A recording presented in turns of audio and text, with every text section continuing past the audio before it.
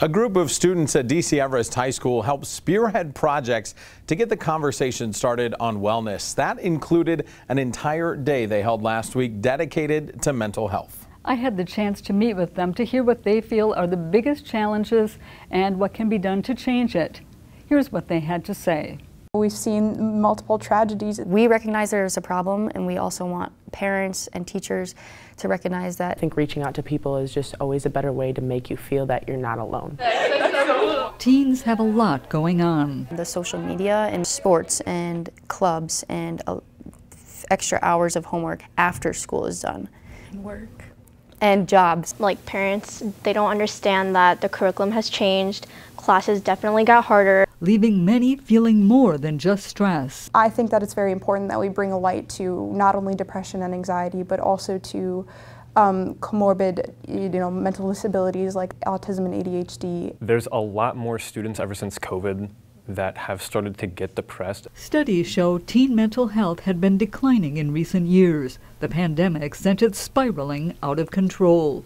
I think that there's been no consistency in our lives for the last couple years, and that's hard because there's no balance.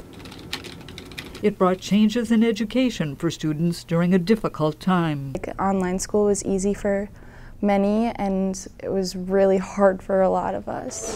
The high school years are a time when many struggle to figure out who they are and how they fit in. Many were met with isolation and the loss of milestone moments, staying connected through sometimes toxic social media. Like that ties into it because we feel like we have to be making a social impact and be putting our best selves out there. Reaching out when they need help can be challenging. How most students struggle very internally where it's very hard for us to maybe express our emotions outwardly or show that we are struggling because we're afraid to ask for help. Not only for themselves. And another thing is knowing when a friend asks you for help or when a friend tells you some, that they're having uh, bad thoughts or something, uh, something such as that, uh, what, to, what they can do to help a friend. Guidance counselor Brooke Davis says kids need to know they have someone they can share their feelings with. And it is building the trust, and it's building trust with adults in the building. It's about building trust with some adult in your life, whether it's a teacher, a parent, but somebody that you can turn to. It's a conversation that could be a lifesaver. But just listen and just be there. It is a really good feeling that you have know that there's people that you can talk to but I definitely do think that it's a lot of practice and it does take a little bit of time.